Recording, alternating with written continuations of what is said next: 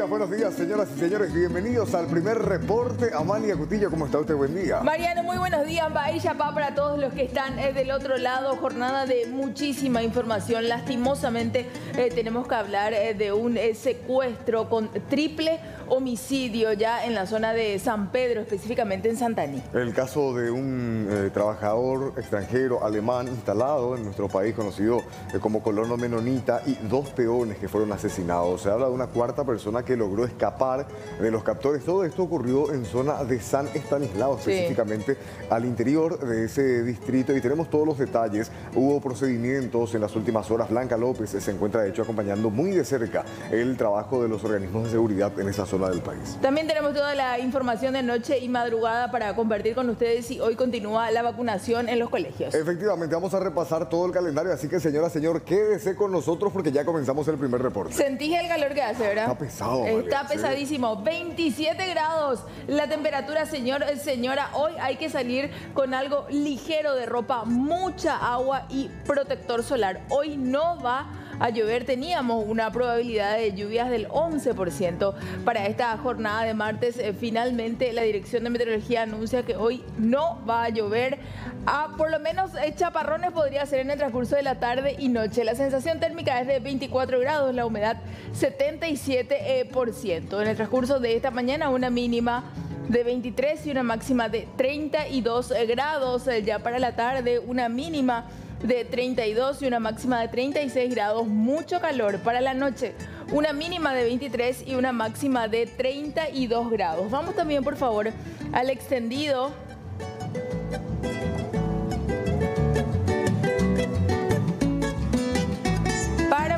miércoles una mínima de 23 y una máxima de 37 grados. Muchísimo calor, probabilidad de chaparrones. Para el jueves una mínima de 24 y una máxima de 33, sí, con probabilidad ya de tormentas eléctricas. Para el viernes una mínima de 21 con una máxima de 30 grados y ya para el sábado una mínima de 20 con una máxima de 31 grados.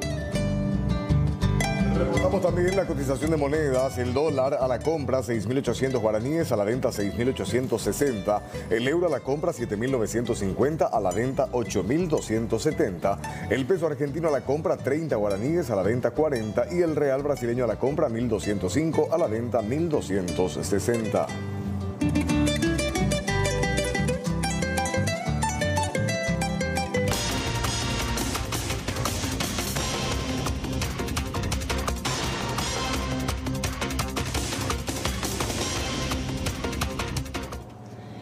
Ya de último momento, vamos a recibir a nuestra compañera Blanca López. Está con todos los detalles de este secuestro y posterior homicidio eh, de tres personas. Blanca, buen día. Muy buenos días, Amalia, muy buenos días, Mariana, audiencia de C9N. Terrible, terrible desenlace inédito eh, realmente en la historia de los secuestros, un triple homicidio pese a que se haya pagado el dinero eh, producto eh, del pedido de rescate. Si hacemos un poco la cronología, bueno, estamos acá en la ciudad de San Estanislao. Este va a ser el lugar, la base de operaciones de todos los efectivos policiales que han llegado y fiscales aquí al departamento de San Pedro para la investigación ya de este cuádruple secuestro. Todo se inicia alrededor de las 10 de la mañana. El señor el dueño de la estancia Erringer, Edinger, fue visto alrededor de las 8 de la mañana aquí en la ciudad de San Estanislao, el señor Helmut Herder Friesen, de 75 años. Después de eso ya nada se supo de él, pero él se habría desplazado hasta su estancia que queda en ya el límite con el distrito de Santaní y Itacurubí del Rosario. Entre dos eh, compañías, una eh, conocida como Bolacua y eh, donde se encuentra la estancia Edinger, arrendada por el mismo, 200 hectáreas aproximadamente, queda ya en Itacurubí del Rosario, en la zona conocida como Boicua.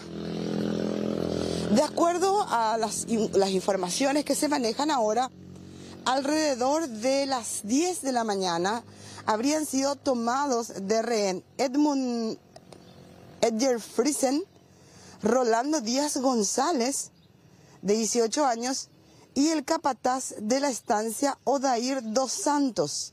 Así también había sido tomado de rehén Eder Cordeiro Machado. A partir de allí se producen comunicaciones entre el hijo del señor, el propietario de la estancia, y los captores, que le piden dos mil millones de guaraníes. El sábado, aparentemente, el señor Helmut habría participado de un remate de ganado, que es lo que él se dedica a la compra, venta, engorde de ganado. Eh, unas 1.700 cabezas de ganado vacuno habría vendido en una feria aquí en la zona de San Estanislao, por lo cual manejaban esa importante cantidad de dinero.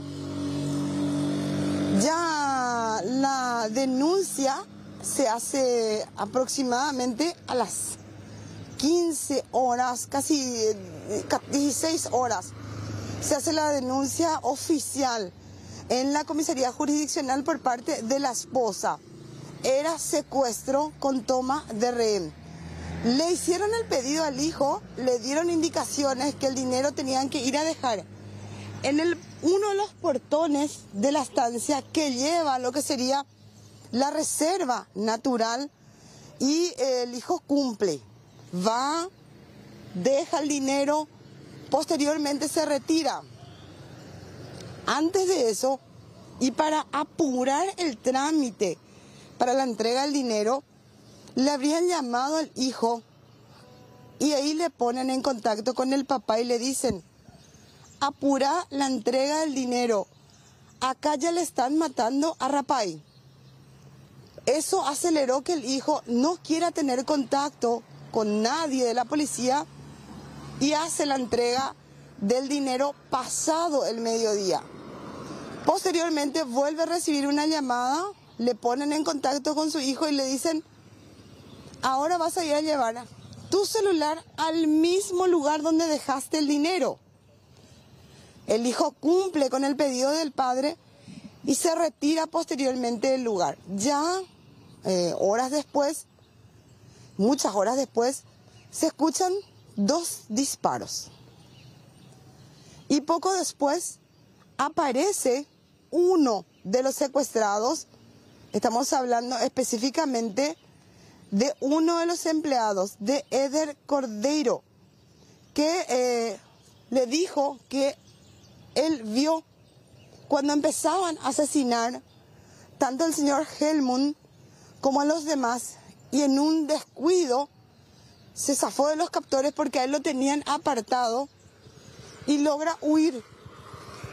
A partir de ahí, él les lleva hasta el sitio exacto y alrededor de las 19 horas se confirma lo peor, porque Eder Cordeiro les lleva hasta el lugar donde estaban los cuerpos de Helmut Herder Friesen, de Rolando Díaz González y del capataz Odair Dos Santos. Una escena terrible.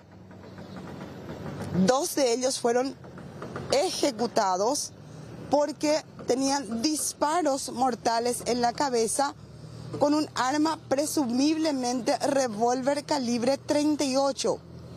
En tanto al capataz, aparentemente con más saña, lo habrían clavado un arma blanca en el pecho y posteriormente cortado de lado a lado el cuello. Esto, es la escena con que se encontraban los investigadores. Alrededor de las 12.30 ya acompañamos con Jorge Paredes todo el operativo que significó la llegada de los comandos, también del propio comisario César Silguero, el director general de investigación criminal, el comisario eh, general Silvino Jara, también eh, ya se encontraba en ese lugar el fiscal José Godoy. Ingresaron sin permitir a la prensa junto con los forenses y también el personal de criminalística y se procedió al retiro de los cuerpos y posterior traslado a la morgue judicial en Asunción. Ya hicieron una conferencia de prensa y pudimos hablar con el comisario César Silguero, designado por la propia fiscal Irene Álvarez como el vocero, y él, entre otras cosas, nos confirma que sí se había pagado el monto solicitado por los captores. Se hallaron tres cuerpos. Eh, en este momento, por disposición del Ministerio Público, van a ser trasladados hasta la morgue de, Asunción para la autopsia correspondiente eh, y también previa identificación de los cadáveres. Tenemos los nombres eh, probables, ¿no? pero tenemos que certificar eso con un estudio de carácter científico. la investigación continúa con el, con el Departamento de Antisecuestro, apoyo de las otras unidades especializadas contra el crimen organizado, como así también eh, el Departamento de Investigaciones de San Pedro. Hay dos cuerpos con disparos con heridas de arma de fuego y uno de ellos con arma blanca. Los investigadores están abocados en este momento a recabar la mayor información posible que sea de interés para el esclarecimiento de este luctuoso hecho. En principio, la información que tenemos preliminarmente es se pagó eh, una suma que va, se habla de 2 mil millones de guaraníes, eso va a ser corroborado también. Bueno, así, eh, compañeros, que Eder Cordeiro Machado se convierte en una pieza clave en esta investigación porque él habría eh, estado en el momento de la toma de rehén, es el que dice que solamente dos personas estuvieron con ellos y que podría tener las características de los captores que luego de retirar el dinero se habrían ido caminando, por lo cual no se puede descartar que estas dos personas hayan sido las que eh, tomaron de rehén, posteriormente hicieron las negociaciones con eh, el hijo del señor Helmut y posteriormente retiran el dinero. Al respecto también hablamos con la fiscal Irene Álvarez eh, de antisecuestros, de la unidad especializada de antisecuestros, que habló de que a partir de ahora empieza un compás de espera e investigación. Lo primero que se va a tener en cuenta es investigar el cuerpo de las víctimas. Yo quiero que entiendan que estamos en una etapa súper incipiente de la investigación. Acabamos de corroborar el lugar de los hechos, estuvimos trabajando. Esta persona está en un estado de shock y nosotros vamos a tomar los medios adecuados para que él pueda testimoniar y poder darnos la mayor cantidad de información posible en el marco de una contención. Pero pudo ver el rostro de las personas sin dar detalles. No, no quiero entrar en detalles de su testimonio porque como ustedes ven son pocas horas de los hechos, ¿verdad? Sí dio un relato a las autoridades eh, de algunas circunstancias que, en que se dieron los, eh, vamos a decir, hoy los hechos, pero nosotros nos vamos a limitar a esperar que él esté en mejores condiciones, contenido.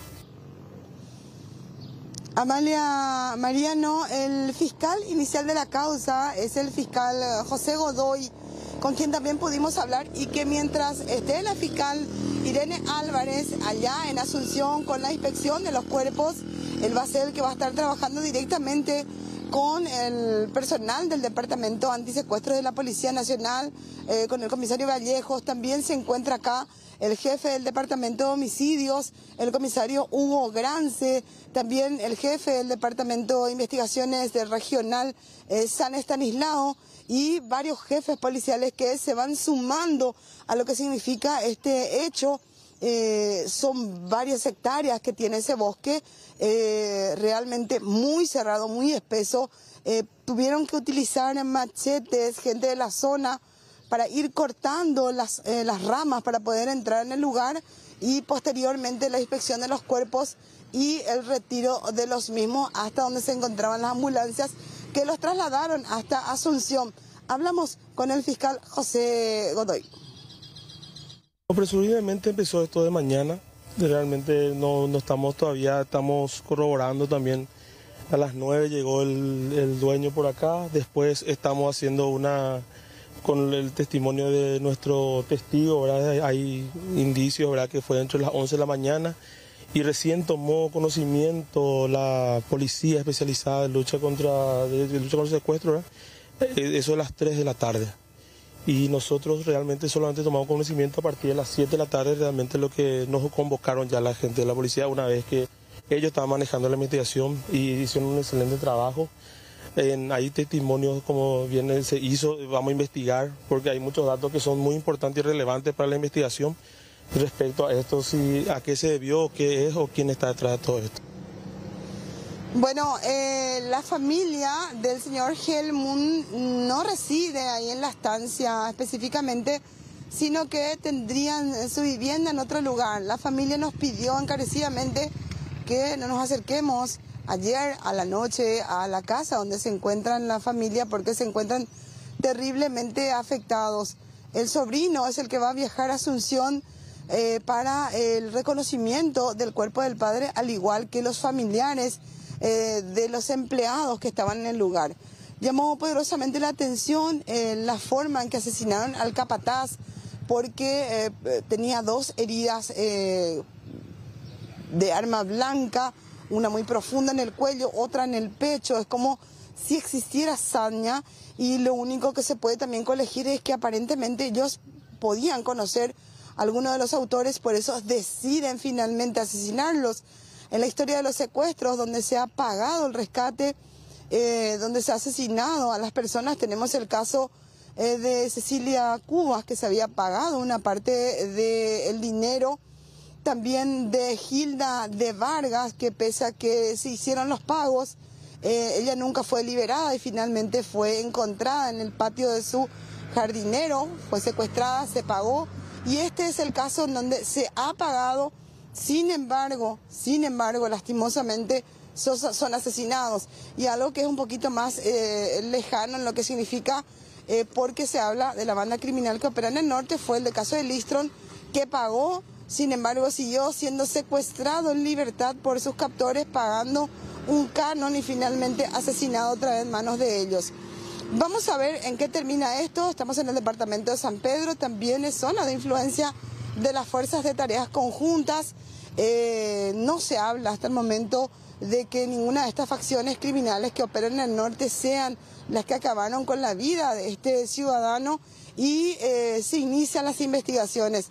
Eh, muchos datos importantes se tiene, el hallazgo de una bailínea servida de calibre 38 podría hablar que el arma no le funcionó y que quizás por eso utilizaron el arma blanca o quizás un mensaje también el hecho que le hayan eh, asesinado con tanta hazaña a estas tres personas. Eh, Blanca, nada más para ir haciendo algunas precisiones sobre el lugar donde acontece toda esta, esta situación. Eh, se da la, ¿cómo decirlo? la captura ¿verdad? por parte de los criminales de estas cuatro personas. Mencionaste una zona boscosa muy tupida. ¿Eso formaría parte de la propiedad de este colono o eh, sería ya otro, otro, sector? ¿verdad? Porque hablaste de que incluso este trabajador, el colono, tiene varias hectáreas ahí en la, en la zona. ¿Se sabe dónde mismo es que ocurre finalmente el, el crimen? Bueno, em, anoche justamente enviaba yo la ubicación exacta eh, del sitio donde ocurrió el secuestro. Em, la estancia queda a bastantes kilómetros, a unos 30 minutos más o menos, 40 minutos de la ciudad de San Estanislao. Eh, un camino sinuoso hay que tomar para llegar a lo que sería eh, la zona conocida como eh, Boicua, que ya se encuentra en el distrito de Itacurubí del Rosario, límite con San Estanislao. Este señor tenía 200 hectáreas, era la propiedad. 200 hectáreas exclusivamente para eh, ganado, porque es lo que él se dedicaba. Por ley, cada establecimiento tiene que tener un 25% de reserva para respetar la naturaleza. Ese sitio forma parte del establecimiento y se encuentra la entrada por donde eh, ingresaron los criminales a unos mil metros aproximadamente del casco central. El vehículo del señor Helmut la camioneta eh, que tenía arriba lo que sería su marca fue encontrado a unos 400 eh, metros del casco central de la entrada, que se presume que es el lugar donde habrían sido tomados de rehén, el momento de la captura. Y llegando hasta esa boca misma por donde nosotros eh, tomamos las primeras imágenes del sitio, eh, quedaría unos 1.200 metros del casco central. El lugar donde se produjo el hallazgo del cuerpo quedaría a 1500 metros nuevamente en la espesura del monte, ya en el distrito de, de Itacurubí el Rosario. Por eso es que inclusive la gente que estaba en la estancia llegó a escuchar los dos únicos disparos. Es que muy Uno que acabó con la vida del señor Helmut y el otro que acabó con la vida del señor Rolando Díaz González, empleados de la estancia. Es que al hablar, ¿verdad? De, perdón, ¿verdad? Pero de esas distancias de un kilómetro, un poco más, ¿verdad? Y encima hablamos de campo abierto, si bien hay monte y compañía, eh, qué terrorífico, ¿verdad? Que el hecho de que la gente haya escuchado incluso esos esos disparos, ¿verdad? Por eso, más Blanca, que te hacía un poco esa, esa consulta, porque de hecho estamos viendo también imágenes del recorrido que ya había hecho Nelson eh, Espínola, el recorrido que ustedes hicieron anoche, también tenemos ahí los cuadritos eh, de las imágenes de la zona y se ve efectivamente, era la zona del campo donde se trabaja y ya posteriormente la parte del, del, bosque propiamente. Ahora, Blanca, con respecto a las sospechas, ¿apuntan a los grupos criminales ya conocidos que operan en el norte o no? Por el momento no. Por el momento no, porque no tienen las características de las personas que operan en el norte del país. De hecho, estamos un poco lejos del, ejido donde normalmente ellos actúan. En lo más cercano a lo que sería acá la zona de San Estanislao, sería la zona de donde tuvieron acciones criminales, sería a ver, Tacuatí, o donde existieron avistamientos en algún momento o en sus inicios hacia la zona de Maracaná, hacia la zona de, a ver, Yasucañú o Choré, donde en su momento eran conocidos como en la banda de Choré, eh, donde, donde fue, donde, donde eh, se preparaban para el asalto Carmen Villalba, pero acá, eh, propiamente en San Estanislao, no ha llegado esa banda, porque de hecho que estamos hablando de una ciudad pujante, una ciudad con mucho movimiento.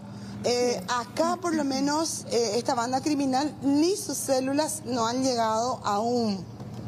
Por eso es que llamó poderosamente la atención lo lejos del ejido de acciones en que se produjo este secuestro, la forma, los términos en que se produjo este secuestro tampoco son los habituales porque generalmente se produce el secuestro, se hace el pedido y luego se llaman al silencio hasta que se dé la prueba de vida como para iniciar los trámites para la entrega del dinero. Fue muy cerca del casco central, si bien para llegar al lugar sumamente difícil, hablamos de aproximadamente desde el casco central hasta el lugar del hallazgo, en total en metros, 2.500 metros, serían dos kilómetros y medio, pero de un terreno eh, que no es eh, una planicie, sino que tiene eh, muchos, muchas diferencias de terreno y entre ellos también está bordeado por esa zona boscosa que ellos utilizaron como su mejor guarida y estrategia, porque ellos nunca se fueron de la zona hasta que acaban con la vida porque el que logró, Cordeiro, que logró escapar, pudo llegar hasta las autoridades huyendo, supuestamente según su versión, es un joven de 18 años, y es porque conocía la zona. Y evidentemente que estas personas que llegaron a pie, de acuerdo a las primeras versiones que se tiene, a pie los llevaron hasta el bosque y eh, aparentemente, según lo que algunas personas vieron, salieron dos sujetos con mochila a pie nuevamente se marcharon, aunque no se puede descartar que tengan cómplices. Blanca, eh, por último nada más, eh, ¿se sabe, se escuchó algo, hay información preliminar sobre cuántas personas pudieron haber perpetrado este crimen? Dos. Dos. Dos para cuatro personas. Dos. Arma de fuego, arma blanca, es lo que se valieron. Sí, sí. Lo- a mí lo que me llama también la, la Aparentemente atención- sería un revólver calibre 38. Sí, 38. Lo que me llama la atención también en- es el eh, ah. que hay. En julio ya ellos fueron víctimas también de un asalto y, y le, le robaron el vehículo. Así fue Blanca, ¿verdad? Asimismo, eh, en ese momento les robaron aproximadamente 2 millones y medio de guaraníes. Mm, Lo que tenían. Lo que llamó la atención, ¿eh? 6 millones. Lo que llamó la atención es que posteriormente quemaron el vehículo de este Sí. ciudadano alemán y aparentemente también tenían ciertos problemas para trabajar por el ingreso de ciertas personas a la zona donde se encontraba el casco central. Pero no estamos hablando de una estancia, una cosa gigante, eh, con custodias, no, es un, un establecimiento básicamente donde se dedican a la ganadería, compra, venta de animales, eh, no contaban con custodia aparentemente y eh, es- están bastante retirados también de la zona donde se encuentra la comisaría jurisdiccional. Bueno, Blanca, nosotros ahora tenemos que venir aquí a Asunción con la señal de nata de la morgue judicial, así que de momento te agradecemos porque muy completo y muy claro este resumen para que todos un poco podamos ubicarnos todo en, lo la, que pasó, sí. en la historia. Gracias, Blanca. Bueno, nosotros con Jorge Paredes, que estuvimos acá desde un vamos, antes ya con el compañero eh, Espinola Lange, que estuvo ya haciendo la transmisión impecable. Luego nos subamos con Jorge y vamos a trasladarnos nuevamente hasta la zona cuando tengamos las indicaciones que podemos entrar nuevamente al establecimiento donde se haría una verificación, así que hacemos una pequeña pausa. Sí. Ayer terminamos al filo de las 4 de la mañana, hoy otra vez en la punta del cañón, porque ustedes se merecen la mejor información. Muy bien, Blanca López Gracias, trabajando Blanca. en vivo desde. Santaní, departamento de San Pedro. Vamos ahora a otra señal en vivo rápidamente porque eh, de hecho la espera se estaba teniendo ya desde horas de la madrugada cuando estos cuerpos que ven ustedes aquí en la, en la imagen son extraídos del monte, son retirados ahí de esa zona boscosa, el cuerpo tanto del eh, colono como así también de los, de los peones y se espera que sean trasladados hasta la morgue judicial para su inspección. Nuestro compañero Nata Cáceres ya está aguardando ahí enfrente. Nata, ¿cómo estás? Buen día. Sí, buen día Amalia, buen día Mariano, el saludo también para todos los televidentes. Es así, se estimaba entre las seis, seis y media de la mañana que podría estar llegando ya los tres cuerpos aquí en la morgue judicial de Asunción, pero de momento hay muy poco eh, movimiento, más que el cambio de los custodios que están realizando ya su relevo también, porque desde la madrugada también se instalaron en este lugar para realizar la guardia. Nosotros seguimos atentos, en cualquier momento se puede dar la llegada ya aquí a la morgue judicial de toda la comitiva y también del traslado justamente de los cuerpos. Así que de nuestra parte vamos a seguir atentos eh, a cualquier movimiento que se pueda dar aquí desde la morgue judicial, pero reitero, de momento no se maneja ningún tipo de información de en cuántos minutos podría estar llegando la comitiva, así que nos queda seguir esperando, eh, esperando digo bien, de forma muy atenta a Amalia y Mariano.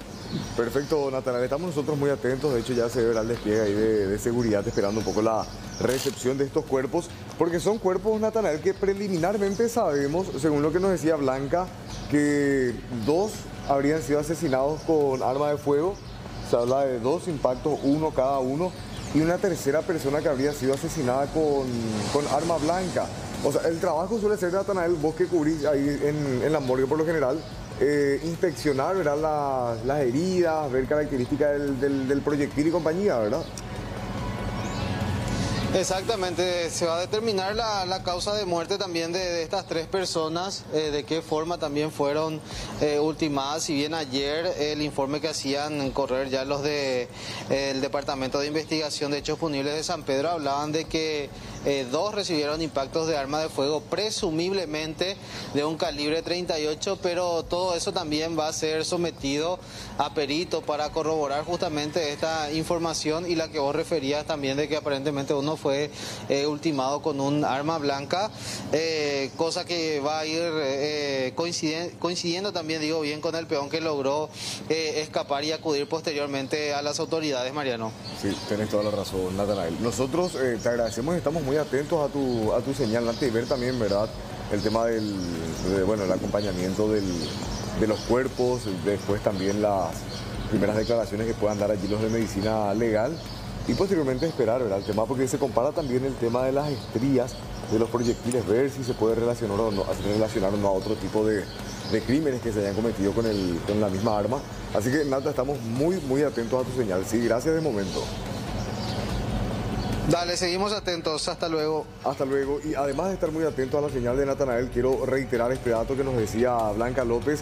En las próximas horas, ya eh, esto podría darse en cualquier momento, una comitiva incursionará, ingresará nuevamente tanto a la propiedad, al casco de la estancia, como así también harán un recorrido por esta zona boscosa en busca de indicios que se puedan encontrar allí en el lugar, como así también de estas personas que habrían llegado, Amalia nos decía, a pie habrían llegado a pie hasta ese lugar, serían dos, son dos los sospechosos y lógicamente uno presume que se estarían retirando de la misma manera. Está llegando el cuerpo, Natanael nuevamente, tomamos tu señal, sí, Nata, adelante.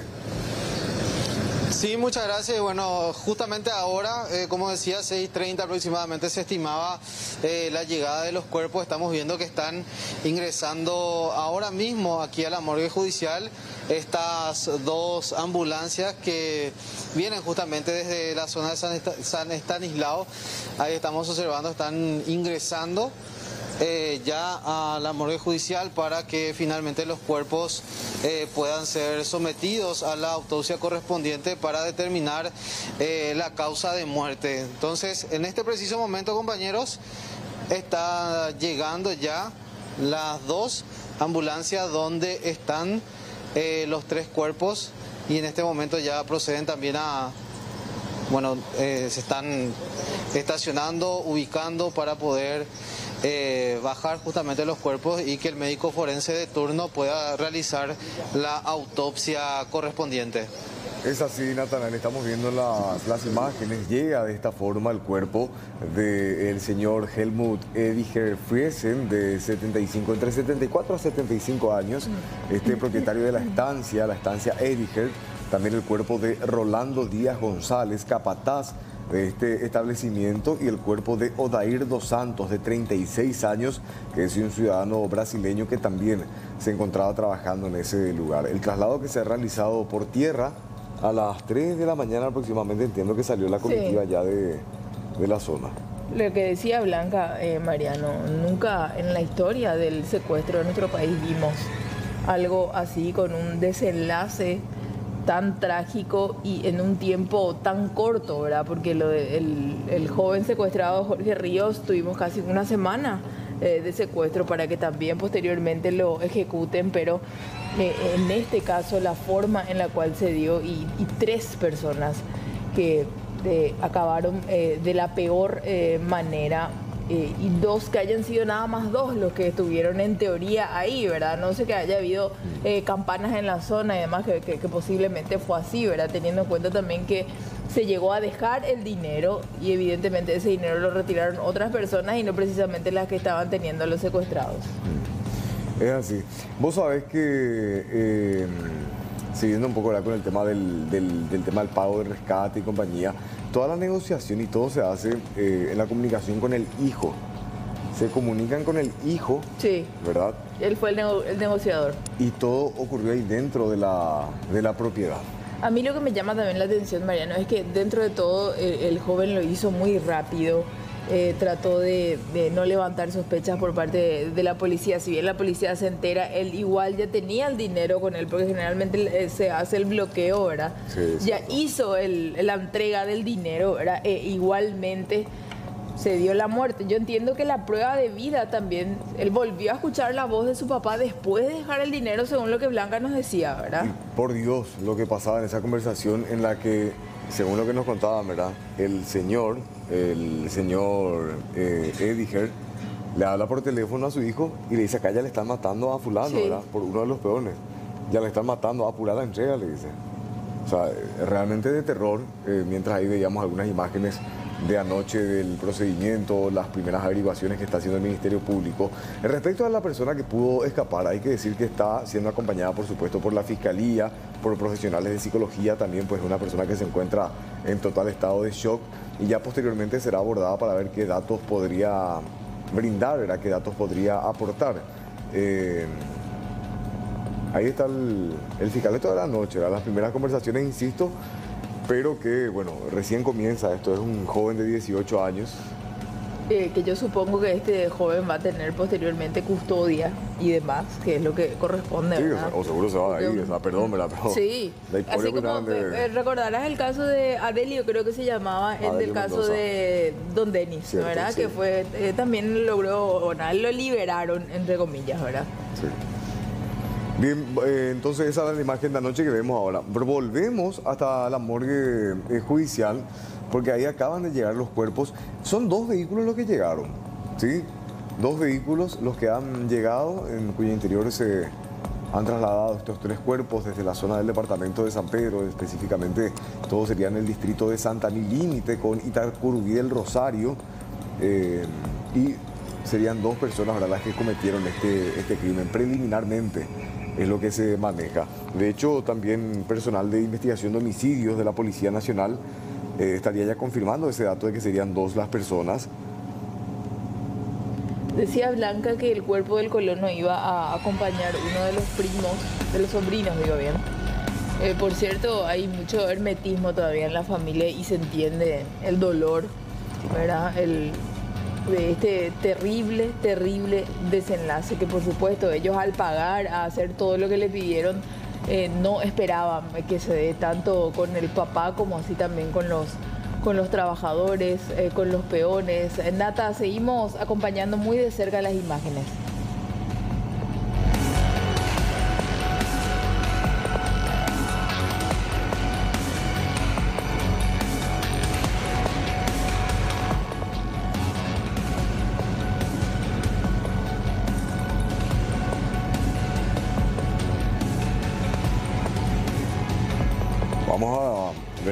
Forma de rescatar esa comunicación. Amalia, vos sabés que a mí se me quedó un poco lo que vos mencionaste, el antecedente. Sí, en julio.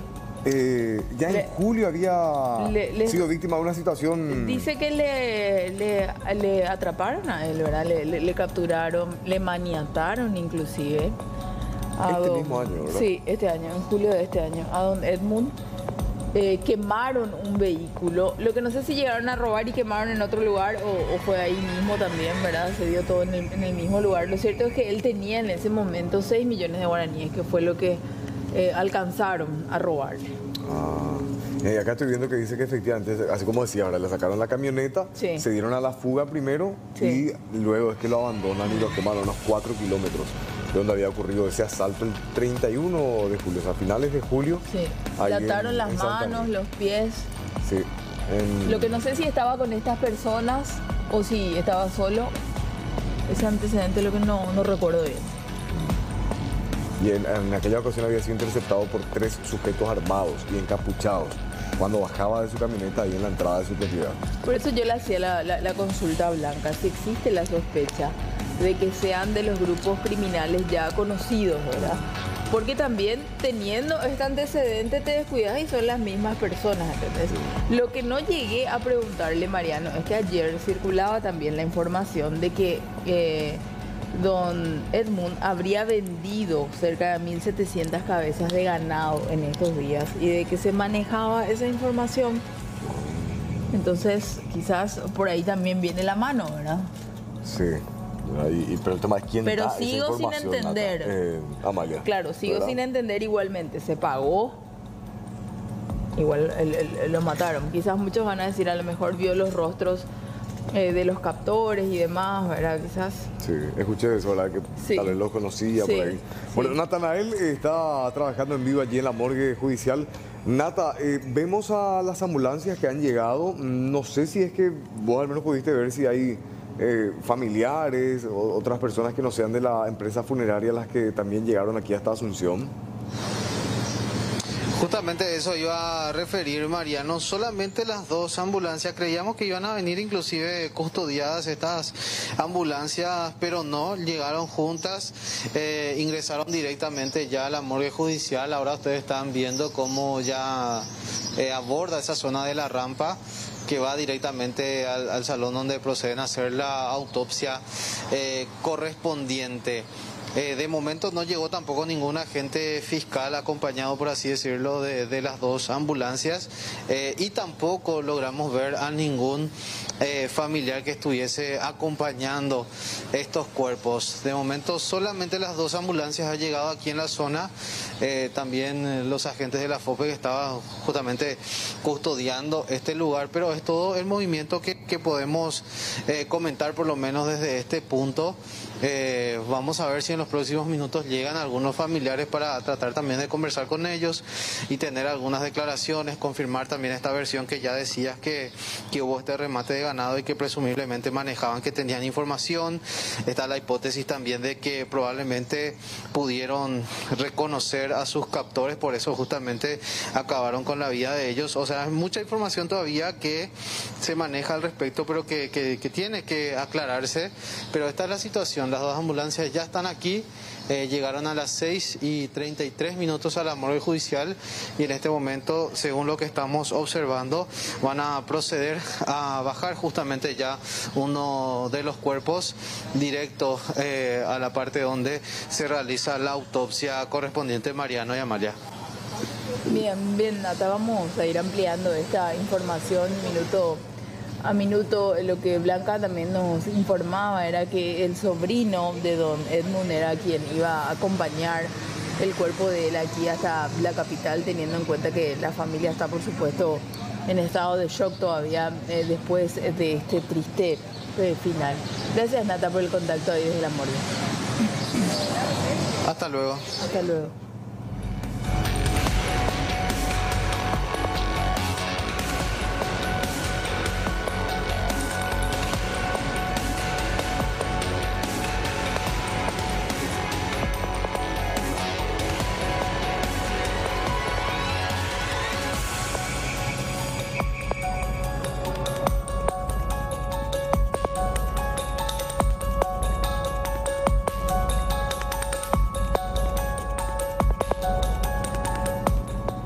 Seguimos muy, muy atentos a esta situación, una situación muy triste definitivamente, y esto acontece en el departamento de San Pedro. A propósito nomás, el gobernador de San Pedro está hablando, está eh, conversando con diferentes medios de comunicación y reclamando un poco lo que tiene que ver con la seguridad, en esa zona del país. También aquí en el WhatsApp del canal estamos viendo muchos mensajes que apuntan al ministro del Interior, Arnaldo Yucio, otros que apuntan a la Fuerza de Tarea Conjunta. La gente está reaccionando ¿verdad? después de esta situación que enluta a tres familias.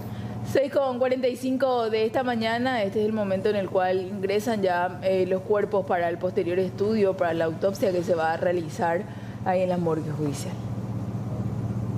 Vamos a volver enseguida, ya ahí habrán las maniobras correspondientes. Natanael Cáceres nos va a contar más detalles en breve.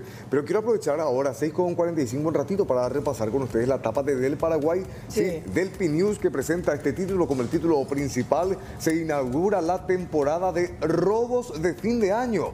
Y hay un diálogo, dice, esperamos llegar a cero hechos de inseguridad ni la Scotland Yard tiene esos resultados, dice Delphi. El hurto de los 1.600 millones oficialmente se trata del primer atraco importante de la época. Esto evidencia la vulnerabilidad de nuestro sistema de seguridad y pone en duda la efectividad del operativo Año Paja el ministro se desentiende de la gravedad del asunto y lanza frases irónicas para tratar de sostener su imagen ya desgastada. Vamos a los otros temas, un poco más abajo, otro título, Comunidad de Chiripá, Demboy y Yaguá desarrollará producción de cannabis industrial. Falta de iluminación de la costanera norte ocasiona accidente vial. Declaraciones de voceros de las fuerzas de tarea conjunta caen en contradicciones nuevamente.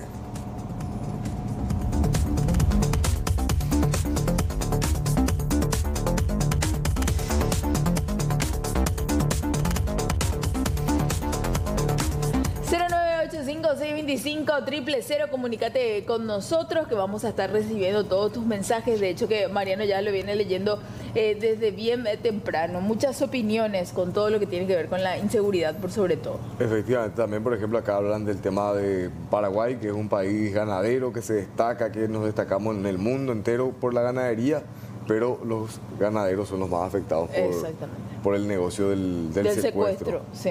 Bueno, eh, vamos a seguir leyendo. Eh, el WhatsApp está ahí, saben ustedes, aquí en C9N. Marcamos pausa breve, hacemos un cortecito, después volvemos y no se olviden, estamos muy atentos a Blanca López, que está allá en el departamento de San Pedro en breve.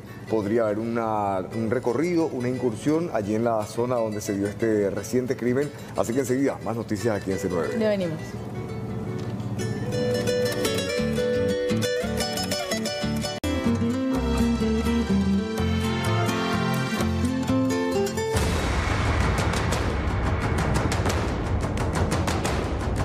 Del susto yo no me podía levantar. Pues ya que asaltante, asaltante, asaltante, ni ahí no le hice caso, agarró mi mano, entonces me estiró. Ahí le viste la, arma larga y ella le echó en el suelo y le apuntó ahí. Hasta acá viene el auto, Toyota Premio. Los, policías le llevaron, los cañonados le llevaron, le llevaron hasta el adentro. La plata, la plata. Está en marcha. Es una chapa que figura como denunciado eh, por extravío de chapa. Nosotros tenemos un contrato vigente, un convenio con la Dirección Nacional de Correo. Ellos son los encargados del pago.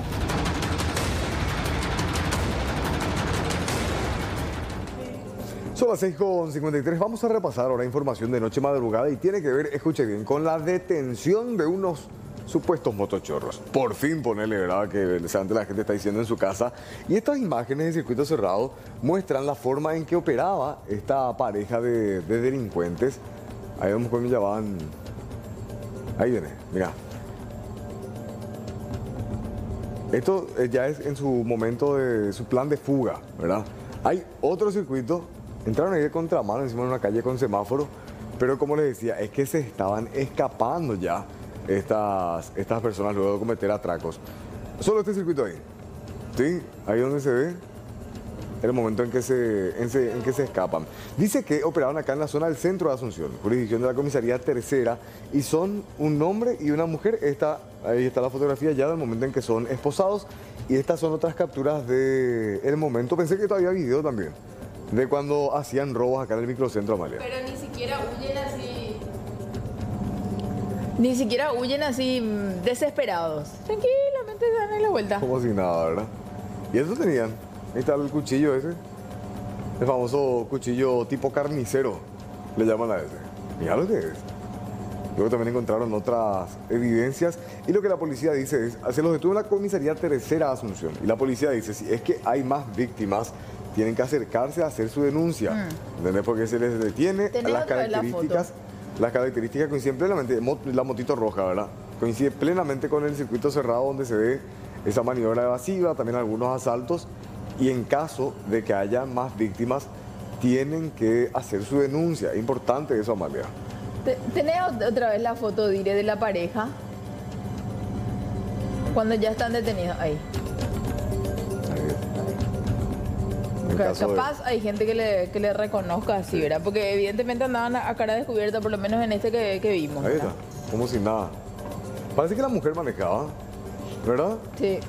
La mujer manejaba y el hombre el que se encargaba de hacer los asaltos, obviamente.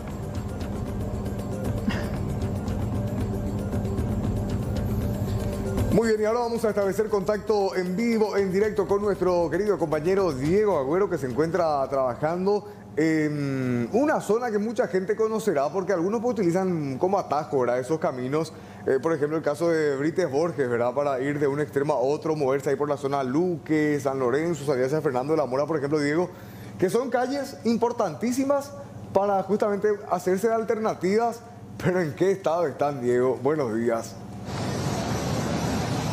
Buen día, Mariano. El saludo para vos, el saludo para Amalia, el saludo para la teleaudiencia. Y al mal estado de las calles, porque estamos observando algunos baches de importancia nos posicionamos aquí con Anderson. Al mal estado de las calles se suma también una situación sumamente complicada. Nadie respeta el semáforo en una zona denominada Tres Fronteras. Eh, esta es la esquina donde se dividen las tres ciudades. Fernando de la Mora, Luque, San Lorenzo. Existen una, dos, tres, cuatro esquinas, cinco mejor dicho, cinco esquinas con semáforo pero nadie respeta el semáforo. Es decir, se quedan unos segundos los conductores, luego pasan y la situación que se da aquí, es decir, sumado al caos que ya generan los baches, porque uno tiene que ir desviando, a todo eso se suma la situación complicada de la falta de respeto del semáforo. Situación que conlleva lo siguiente, accidentes de tránsito de manera constante. Fíjense, ahí por ejemplo tenemos una muestra, le da verde a este sector, pasa otro, entonces son situaciones realmente que complican. Vamos a conversar aquí con el propietario de un local comercial. Nos decía él, incluso los motociclistas, fíjense cómo este vehículo de color gris oscuro está pasando él sin respetar el semáforo. Qué situación complicada en esta esquina, Don, buen día. Terrible, digo. Terrible, así todos los días. Pasando la mitad, todos los días están así. Si vos te quedas un poco más, te vas a ver peores cosas acá. Bueno, y nadie tampoco le da mucha manija, es decir, por, ser frontera de las tres ciudades. Y yo veo que es así. Nadie nunca se paró una policía ahí. Nada. Ni un. nada. Una caminera para llegar acá, nadie. Nadie llega acá. hay muchos accidentes. Y siempre hay. Ya, ya te mostraron el sábado, moto con moto acá. Y ahí está la moto que... Se quedó acá en tu casa depositada. Hace ocho días ya. Ah. Y no viene. De manera constante, motociclista y automovilista. Los dos. Moto con moto es lo que chocan más acá. Sí.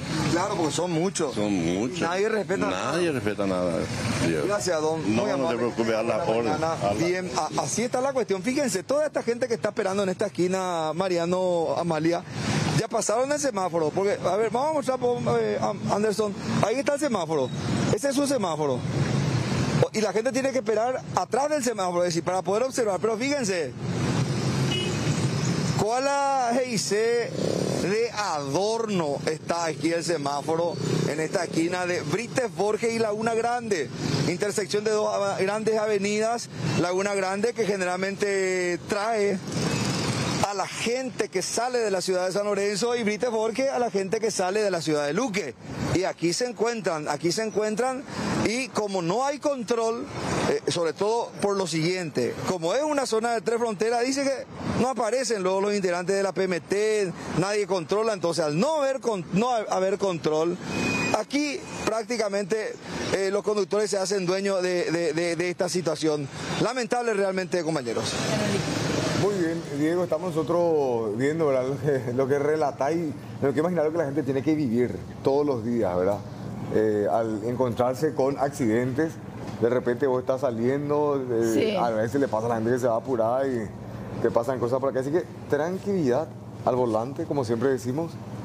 Claro, yo lo que decía Diego nomás. Yo no sé cómo se puede. Lo que sí, sí, PMT ahí, pero, pero también que solucionen el tema de las calles. Mira lo que es. Lo que decía Diego, sí o sí pues tenés que hacer pausa obligada con el bache, no hay de otra. Y ahí lo que la gente se enoja, ya te bocina, pero ahí está hecha pelota hasta la calle. Diego, gracias, gracias por este contacto. Hasta luego, hasta luego, hasta luego, hasta luego. Muy bien, 7 de la mañana en punto, 7 en punto y a esta hora tenemos que hablar de esta promoción que es una verdadera locura. Buen día, buen día para todos aquellos que están arrancando recién. Buena energía para este martes ya 23 de noviembre. Estamos a un mes de la Nochebuena, de la Navidad. Vamos a convertir ya los datos que nos marca la dirección de meteorología. Bajó un poquito la temperatura. Cuando arrancamos a las 6 de la mañana con Mariano López teníamos 27 teníamos. Ahora tenemos 25,2 es la sensación térmica, la humedad 72% y el viento está en calma. En el transcurso de esta mañana vamos a tener una mínima de 23 y una máxima de 32. Atención, para la tarde, mínima de 32 y máxima de 36 grados. Ayer también estuvo insoportable a la tarde. Ya para la noche una mínima de 23 y una máxima de 32 grados. Vamos también, por favor, al extendido. Hay probabilidad de chaparrones para hoy también, para mañana, pero escasa, escasa probabilidad.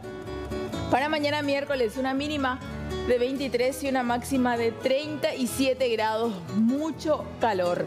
Para el jueves una mínima de 24 y una máxima de 33 grados con probabilidad de tormentas eléctricas. Para el viernes una mínima de 21 y una máxima de 30 grados y para el sábado una mínima de 20 y una máxima de 31 grados.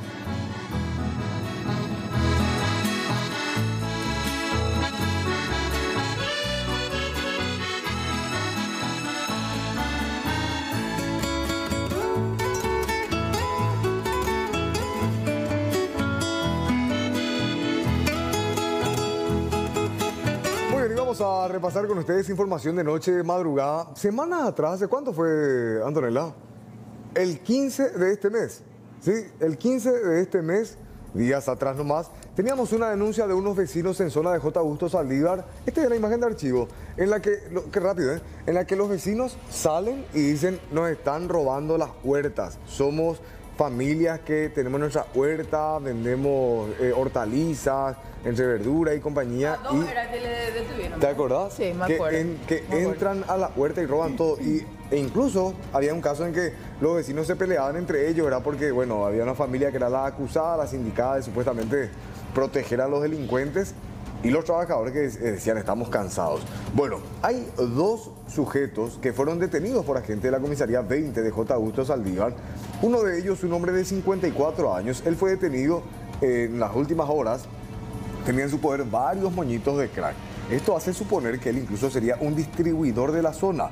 El otro identificado como Felipe Eulogio Gómez, también detenido, este tiene 23 años y es indicado por los vecinos del barrio 3 de febrero como uno de los responsables de varios robos de objetos y hortalizas que perjudican considerablemente a los productores de la zona. Ambas personas quedaron detenidas en sede policial a cargo del Ministerio Público. Tuvimos dos aprehensiones que a posterior la Fiscalía decretó la detención de los mismos. Primeramente a, la, la siesta, realizando la patrulla preventiva que se está acentuando en la zona del barrio T de Febrero, de zona de plantación de hortalizas.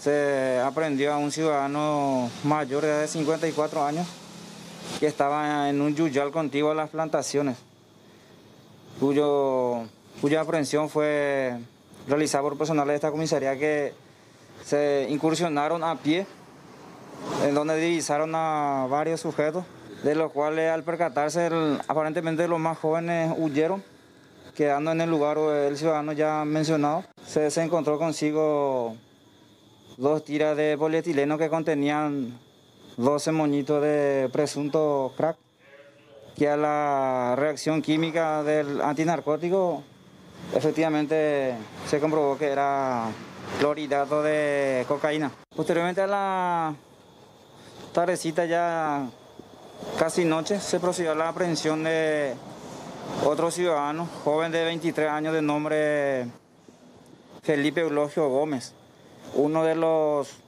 cinco principales sindicados que supuestamente hurtan continuamente las plantaciones de los productores de la zona de 3 de febrero. El mismo es identificado en varias denuncias consecutivas que obran acá en los registros de la comisaría, tanto en, en el de la fiscalía también. O sea, él fue visto ya en, en las plantaciones realizando estos hechos. Es indicado y que nunca tampoco le pudieron aprender ni demorar porque era muy amenazante. Siempre contaba con machete o arma blanca que obviamente da para temer por los, por los productores. ¿verdad? Y esta vez se encontró también un arma por él. No, no, no.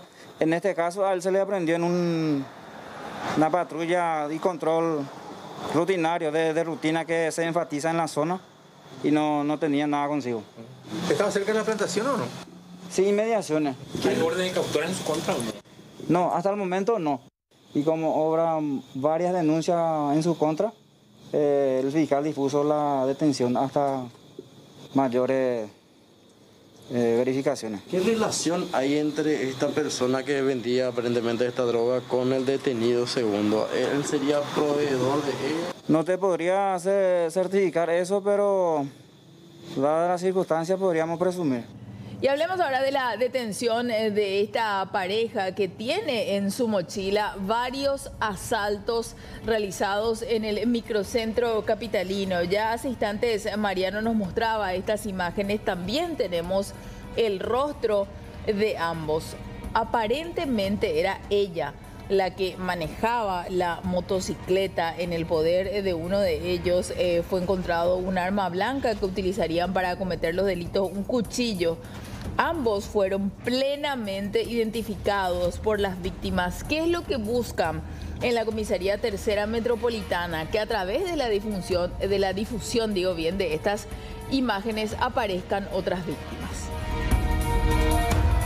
Día de la fecha, siendo las 21.30 horas, se recibió una llamada en el sistema 911 sobre personas sospechosas con similares características. Días anteriores habían realizado hechos de robo agravado cuyas denuncias fueron formuladas en esta comisaría. En total, hasta el momento se contabilizó seis denuncias contra los supuestos autores, tres de los cuales ya eh, sus víctimas identificaron plenamente, a lo mismo con los, como los supuestos autores del hecho. Es una pareja, es una pareja el, que circulaban a bordo de una motocicleta de color rojo, tipo motoneta, y como acompañante se iba una persona de sexo masculino y eh, la motocicleta, eh, reitero, iba conducido guiado por una persona de sexo femenino, eh, cuyos datos al ser cotejados en el sistema informático registraron que poseen varios antecedentes por hechos delictivos. Todas las denuncias que recibimos con anterioridad fueron hechas con arma blanca, ya sea destornillador, o arma blanca punzo cortante. En el momento de la atención, sí, la persona que estaba como acompañante tenía adherido al cuerpo entre la cintura del, del pantalón eh, un arma punzo cortante que una de las víctimas pudo reconocer que efectivamente se trataría con la misma arma con el cual le intimó a que entregara sus, sus pertenencias. ¿En dónde suelen actuar normalmente estas personas? Y actúan en la periferia del microcentro, ya sea sobre República de Colombia, Teniente Fariña, eh, Iturbe, Caballero, México. En el momento de la detención, comisario, ¿esta gente tenía en su poder algunos de los objetos hurtados? No, no se pudo hallar en poder en ninguno, eh, ninguno de los dos, ningún objeto ya denunciado con anterioridad. Se realizó avance investigativo de los hechos anteriormente, eh, recolectando eh, cámaras de circuito cerrado en la cual se le ve perfectamente que se trataría de la misma persona. Ahora vamos a repasar, señora, señor, unas imágenes del circuito cerrado. Venga conmigo porque tenemos que mirar todos los detalles de lo que va pasando en este lugar. Notan ustedes que es un estacionamiento. Mira la camioneta blanca. Llega una persona. Mira, mira, mira, ¿qué es lo que pasa? Ahí está. Tiró una piedra. ¿Se vio? ¿Sí? ¿Mi qué viste? ¿Cómo tira la piedra? Y después, tas, tas, tas, tas, tas, toca así para remover el vidrio y ya están dentro de la camioneta. Esto pasó en, cerca de una cancha, ¿verdad? el, estacionamiento, de hecho, es de uno de estos sintéticos donde los muchachos se encuentran, se juntan para compartir un poco entre amigos, ¿verdad? Y hasta ahí llega, mira. Llegan, son dos personas a bordo de una motocicleta. Y aparentemente, ah, dos motos tienen. Dos, dos. Uno, uno en cada moto. Tiene una piedra, puede ser lo que tira Maleo. Para mí que una piedra. ¿Sabes qué es lo que pasa también, Mariano? Que cuando tiene el polarizado, generalmente al romper este tipo de vidrios parece que se queda todo ahí. como contenido, ¿verdad? O cuipá, pero se queda ahí, ¿verdad? todo pegado ahí por el todo plástico. Todo pegadito por el plástico, sí. Y ahí está, sellaron una computadora, además de otros objetos de valor de este vehículo. Tenemos, de hecho, nosotros también una entrevista con el afectado. Esto ocurría en Asunción. ¿Dónde insistimos? Son víctimas de tortolero ahí en Villamorra, específicamente. Víctimas de tortolero mientras estaban ahí en una cancha de fútbol. Eh, pádel, ah, pádel estaban jugando en, el, en la cancha. Miren lo que es. Sí, pues será que no tenía alarma una de esas cosas, ¿verdad? Porque, o sea, digo, vos te le pones alarma a tu auto para que cuando alguien golpea, cuando alguien rompa algo, eso suene. Pero acá no se ve ni que se prenden alta las luces. Gama, eh. No sé, pero viste que no se ve, por ejemplo, las luces el señal, como dice, la, la, luz del señalero de los costados. La luz de toque es la que generalmente dispara cuando. Claro, con la alarma. Pero acá no pasó nada. Hay otro circuito también de este mismo caso Que bueno, en realidad lo que, lo que hace este video es mostrarnos eh, más detalladamente qué es lo que va pasando. Cuenta que habían varios otros vehículos, pero optaron por No, esta pero la, camioneta. la camioneta era la más lujosa. ¿Te parece? Sí, aquel que está allá un Mercedes Mercedes antiguo. Y este Ah, es un, Una camionetita. una camioneta. Pero pues, además también puede ser que hayan observado lo que había adentro, ¿verdad? Sí, Que es una notebook la que... porque que generalmente ellos recorren, así miran, se dan la vuelta por el vehículo Sí. y después recién... Y ahí está, ella hace ya la remoción. Y ahí ven, ya están dentro. Ahí llegó la notebook. ni, ni un temor de que alguien pase, de que escuchen, ¿Verdad? de que salgan corriendo, nada. Es de esas camionetas que, bueno, vos levantás la, la puerta de atrás y detrás de los asientos tiene su cosa. Por eso se ve que rompe el vidrio y mete la mano así hacia abajo, Sí. ¿verdad? Para sacar las cosas. O si no, es lo que vos decís, Mariano. Ellos vieron a lo mejor que el propietario hizo eso, mandó ahí su mochilita antes de bajarse, Y ¿verdad? marcaron. Hablo el afectado. Pues yo estaba fuera de la cancha, ¿verdad? Y en realidad pensé que me estaba bromeando, pero cuando salgo ya encuentro el vidrio roto, de hecho. ¿verdad? Eh, ¿Estacionaron frente al local el, el vehículo? De esa columna que ves, Eh. mi vehículo estaba al lado. Eh. Y, y así fue. ¿Cu- ¿Cuántas personas eran?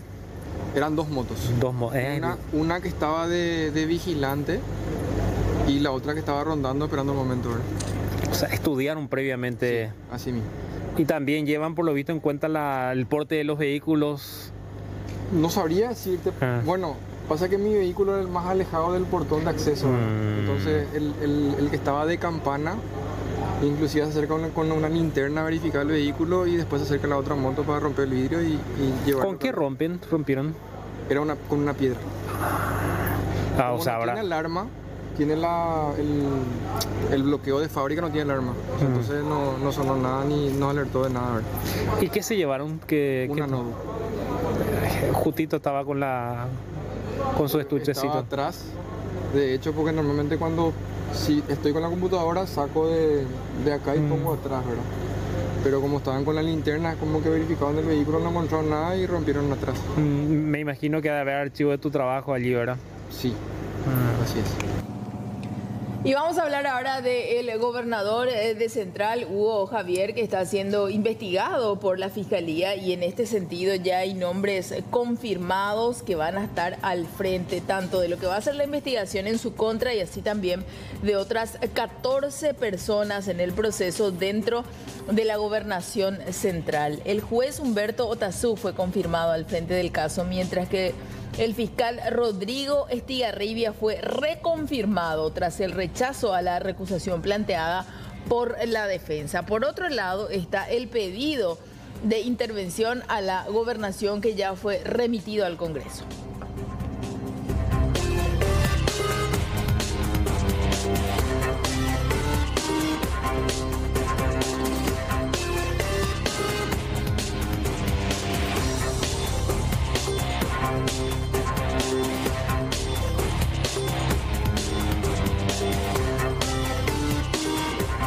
Escuche bien este título, señora, señor. San Lorenzo, en emergencia vial, las calles están demasiado, no se puede transitar, la gente no puede moverse tranquilamente. Entonces las autoridades, en- específicamente el nuevo intendente, eh, presentó un documento ante la Junta Municipal donde pide que se declare emergencia vial y con la declaración de esta emergencia, bueno, se espera, ¿verdad?, que la Junta Municipal trate este pedido y de esa manera se van a poder, por ejemplo, encarar proyectos de gran envergadura, se habla de la posibilidad, por ejemplo, eventualmente de solicitar algunos créditos, ver qué tipo de contratos se puede hacer de manera abreviada sin que los procesos de licitación sean muy, muy prolongados y dar una respuesta al tema de la calle. Mira lo que, esta es solamente una imagen referencial de uno de los cruces ahí en zona de San Lorenzo, que es la calle que solemos tomar como atajo para salir hacia... Hacia Mariscaló, hacia Duera, hacia Mariscaló. Mira lo que es. Me apreté de mi cabeza y el freno también apreté. Y no tenés de otra. Y no tenés de otra. No tenés de Porque otra, te bocina, el atrás te bocina, pero después cuando se da cuenta de por qué hiciste ese freno, ¿Qué te entiende y qué va a hacer. Bueno, entonces, más cráteres que en la luna en la ciudad de San Lorenzo. Vamos a ver qué pasa. Hay un nuevo intendente, hay que ver si es que tiene el respaldo de la Junta Municipal y de esa forma también, por supuesto, ver en cuánto tiempo se puede subsanar este pequeño gran inconveniente.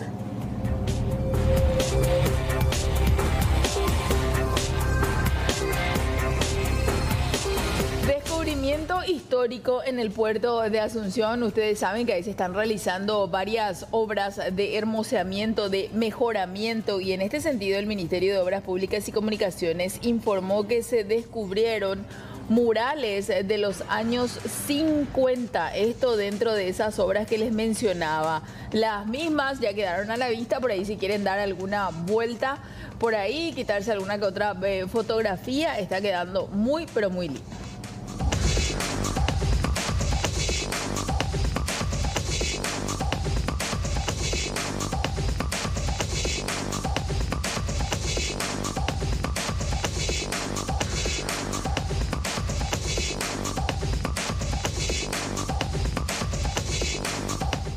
Vamos a hablar del caso de Ulises Núñez. ¿Recuerdan ustedes esta persona que está procesada por el homicidio de una mujer a quien asesinó y posteriormente le prendió fuego a su vehículo con ella dentro?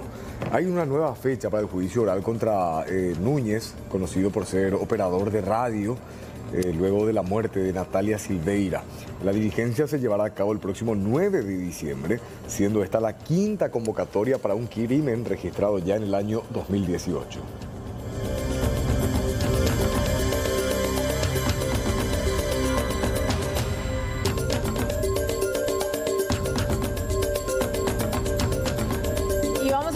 Con la noticia en el ámbito judicial porque nuevamente fue suspendida la audiencia contra Gregorio Papo Morales y Cintia Burgos, su pareja. En esta ocasión, la causa de la dilación fue el pedido de la defensa de Morales que solicitó tiempo para interiorizarse del caso. Papo y su pareja están procesados por la muerte del joven Fabián Marín, que fue en noviembre del año pasado. A su vez, la joven Burgos cuenta con orden de captura debido a que no justificó su ausencia en la audiencia.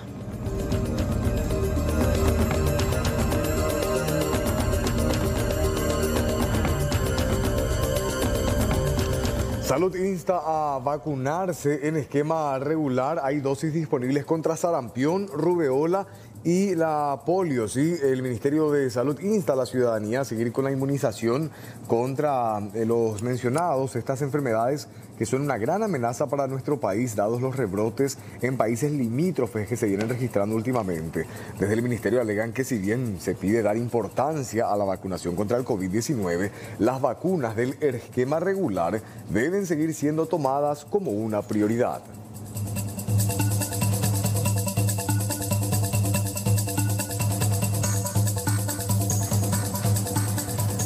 Compartir ya la tapa del diario Mil Noticias en su versión digital de este martes. Secuestro y muerte. Un colono y dos empleados asesinados en Santaní. En la tarde de ayer, Helmut Ediger Friesen y otras tres personas fueron secuestradas en el departamento de San Pedro. Horas después, el grupo criminal aún no identificado procedió a ejecutarles. Uno de los empleados logró escapar.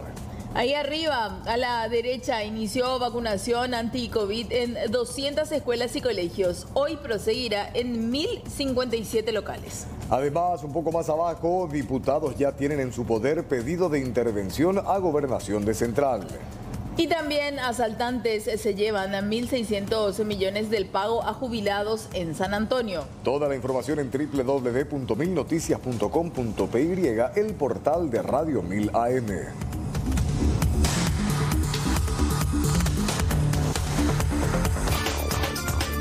Secuestro en el norte del país, específicamente en Santaní, la, el distrito de San Estanislao, donde tres personas perdieron la vida y una logró escapar de los captores.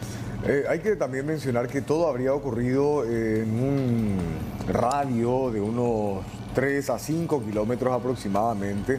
Todo esto allí en Santaní e Itacurubí del Rosario, atendiendo a que las hectáreas que tenía en su poder este colono eh, justamente se comparten entre ambos distritos. Nos decía Blanca López que la estancia propiamente está, o sea, el casco, ¿verdad? Eh, que es el lugar donde tienen las herramientas, donde se, se juntan los peones, etcétera, estaría en Itacurubí. Sí. Pero el trabajo de compañía se desarrolla hacia Santaní. Los captores que habían pedido 100 millones de guaraníes por su liberación, pero en horas de la tarde encontraron sin vida a este colono y también a otros dos peones. El detalle también vamos a contarle, de hecho, más adelante, ¿verdad? Así, las fechas y especificaciones. Dice que este productor ya había sido víctima de un asalto y quema de su vehículo en julio pasado. Nos estaba contando acá eh, Amalia. La Policía Nacional es la que confirmaba ayer en horas de la tarde la ejecución del colono menonita y dos peones luego de que estos fueran secuestrados, además del capataz que habría sido liberado o este se escapó eh, del establecimiento o del sector donde estaban siendo retenidos contra su voluntad por estos desconocidos. Se habla de dos personas, de un arma de fuego que se habría utilizado y es también un arma blanca para eliminar, para ejecutar a estas tres personas. Personas que son trabajadores, dos peones de esta estancia, que están ahí con su patrón, ¿verdad? Con el colono, ¿cómo es que es? Helmut, es el nombre, así se lee. Sí. Helmut Ediger Friesen, es el, el propietario de la estancia y estaba ahí con, su, con, con sus trabajadores, con su empleado, Rolando Díaz González, el capataz, y también Odair Dos Santos, además de este joven de 18 años que logró escapar.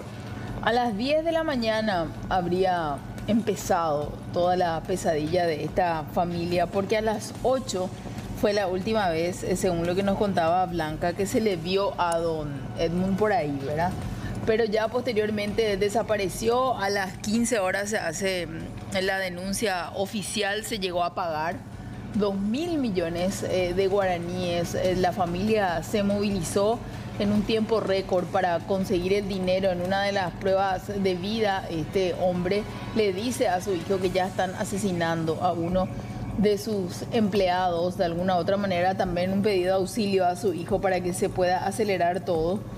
Con el dinero también, eh, una vez que entregó el dinero, también le pidieron que entregue el celular al hijo, cosa que él también hizo. Todo en el lugar establecido eh, por los captores y ya posteriormente conocemos el eh, desenlace, la muerte de estas tres personas. La fiscal todavía no quería entrar en muchos detalles de lo que pudo llegar a decir el joven que logró escapar. La fiscal Irene Álvarez se mostró muy cautelosa y se entiende eh, realmente por eh, la situación por la cual atravesó este joven, pero en definitiva su declaración va a ser clave porque Blanca nos decía, en teoría fueron dos personas que utilizaban armas de calibre 38 aparentemente según lo que eh, se pudo llegar a saber. Vamos a escuchar lo que decía el comisario Silguero. Se hallaron tres cuerpos. Eh, en este momento, por disposición del Ministerio Público, van a ser trasladados hasta la morgue de, Asunción para la autopsia correspondiente eh, y también previa identificación de los cadáveres. Tenemos los nombres eh, probables, ¿no? pero tenemos que certificar eso con un estudio de carácter científico. La investigación continúa con el, con el Departamento de Antisecuestro, apoyo de las otras unidades especializadas contra el crimen organizado, como así también eh, el Departamento de Investigaciones de San Pedro. Hay dos cuerpos con disparos con heridas de arma de fuego y uno de ellos con arma blanca. Los investigadores están abocados en este momento a recabar la mayor información posible que sea de interés para el esclarecimiento de este luctuoso hecho. En principio, la información que tenemos preliminarmente es se pagó eh, una suma que va, se habla de 2 mil millones de guaraní, eso va a ser corroborado también.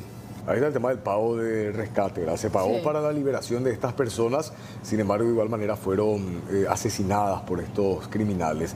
Hay que mencionar que a las 14.30 aproximadamente de ayer se daba la- el hallazgo de estos cuerpos gracias a la orientación que habría dado el joven que escapó de estos secuestradores. Es así que esta comitiva llega específicamente hasta el lugar donde estaban ya los cuerpos sin vida, tanto del ganadero como así también de los peones.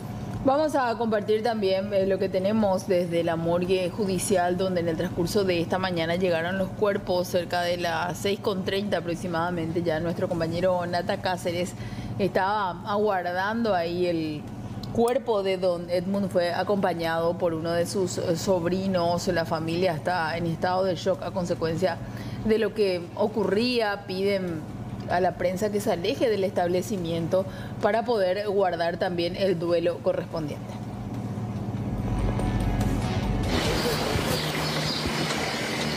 Hecho es de 24 horas, pero em, creo que sí, eh, va a depender de la orden judicial y hasta donde sé estaría saliendo para eso a las 11 de la mañana. ¿A las 11 de la mañana? A las 11, ¿sabes? ¿Se sabe si se hace hoy o...? Eh, yo creo que a las 11 van a, o sea, va a llegar la fiscal con la jueza y ahí nos van a decir si empezamos ya o no. ¿Podrían iniciar entonces hoy ya? Creo que sí. Gracias. Dale.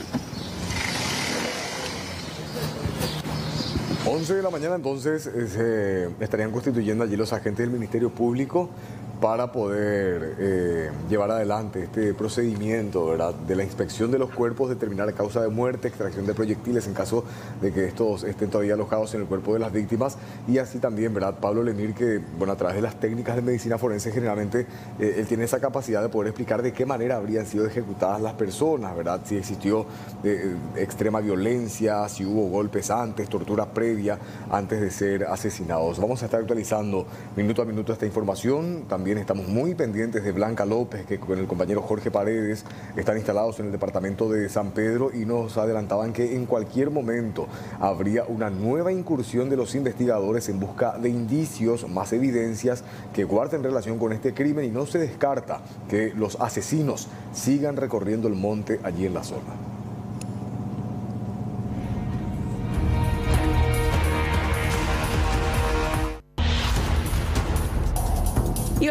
Cambiar eh, de tema, vamos a hablar de esta buenísima noticia que estábamos esperando. Nació la pequeña Candela en Estados Unidos. Ya está este tweet que confirma su nacimiento. El tweet dice, queremos que empiecen su día con esta hermosa noticia. Esta madrugada llegó nuestra Candela con 3 kilos 220 Sí, gramos. Buen peso. Llena de energía y ganas de empezar a luchar por su vida. La mami y Cande se encuentran perfectamente, más que nunca. Necesitamos de sus oraciones, dice esta cuenta arroba Dale Candela PY, que es la, la, la cuenta, el perfil a través del cual se estuvo canalizando toda la ayuda, la solidaridad de la gente, ayuda económica, luego también las informaciones de lo que tenía que ver con la cirugía a la que tenía que someterse Candela, incluso ya antes de nacer, ¿verdad? Hablaban de esa intervención que requería para poder ayudar en el desarrollo de su corazoncito. Pues el problema tiene que ver con eso. En términos sencillos, nos decían los propios padres, es como que le falta la mitad del corazón. Sí. ¿Verdad? Y es ahí donde la ciencia ha intervenido para poder que esta niña pueda llegar con vida. Es la mejor noticia, sin dudas, Mariano, eh, de este martes. Muy contentos de poder eh, compartir también esto eh, con ustedes y fuerza para los papis para este camino que empiezan a atravesar ya con Candela.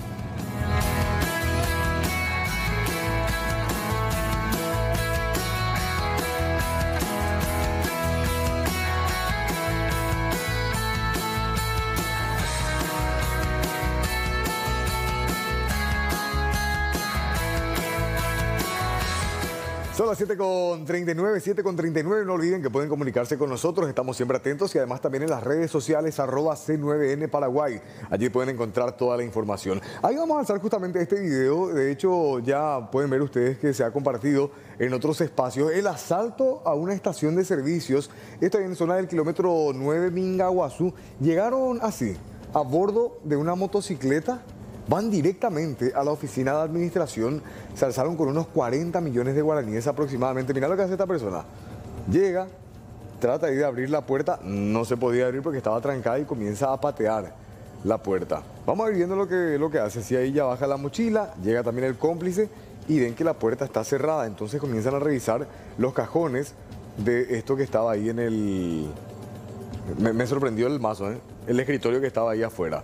Luego con un mazo, ¿viste, Amalia? Sacan un mazo de la mochila y le dan un mazazo a la puerta y bueno, de una se termina rompiendo y permite el acceso de los delincuentes, ¿verdad? Que llevan directamente ahí a la parte, repito, administrativa, donde también tenían el dinero guardado en esta estación de servicios. Más de 40 millones de guaraníes es lo que se llevaron, Encima, esas puertas son súper macizas. ¿verdad?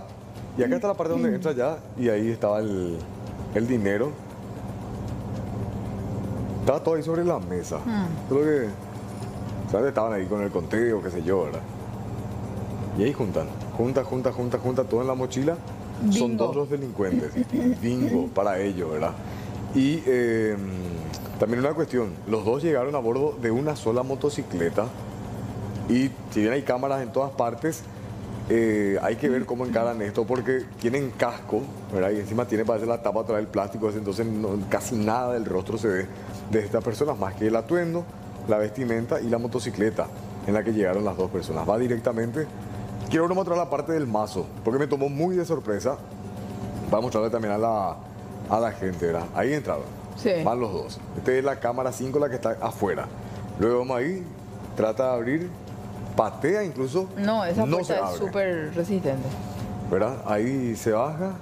Y mira lo que hace este. Llega el delincuente, no le miren, pero mira acá. Saca de la mochila. Sí. Se fueron preparados. Estaba María, claro mira. que estaba preparado. Saca un mazo. Y mira, tremendo mazo. ¡fa! Con un mazazo ahí terminó abriendo la, la puerta. Entonces compartimos el circuito cerrado 8.27 de la mañana, dice de ayer lunes. Imagínate, 8 y media de la mañana se daba este asalto perpetrado en el departamento del Alto Paraná.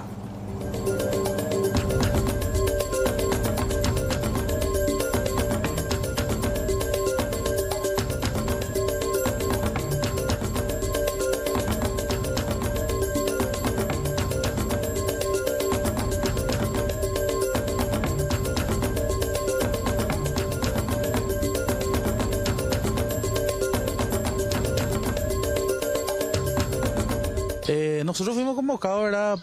por la misma encargada, que manifestó que ella en el momento que ocurrió el hecho salió a hacer una diligencia. Y cuando al volver al lugar ya sus personales, los playeros, vamos a decirle, le informaron que dos personas a bordo de una motocicleta fueron a ingresar en el despacho y sustrajeron pertenencias. ¿verdad? También eh, un monto en específico de efectivo también. Y según lo que estamos dialogando con ella, manifestó la recaudación del sábado y del domingo, que sería por los 40 millones aproximadamente. 40 aproximadamente. Que según ella mencionó habría dejado en la mesa. Y según ella, lo que ella relata es que ella estaba haciendo su arqueo, ¿verdad? Y estaba preparando para ir a depositar en el banco. Y se olvidó y dejó encima de la mesa. Porque también tiene caja de fuerte y eso. Y se le pasó según la versión que ella nos está mismo. Bueno, habría también cámaras de circuito cerrado. Sí, hay cámaras de circuito cerrado. Ya fuimos cotejados eh, la característica de los supuestos autores. Ya se le hizo participación al personal técnico eh, criminalística y el pers- el personal del departamento de investigaciones de delito, ¿verdad? Y estamos en busca de los supuestos autores.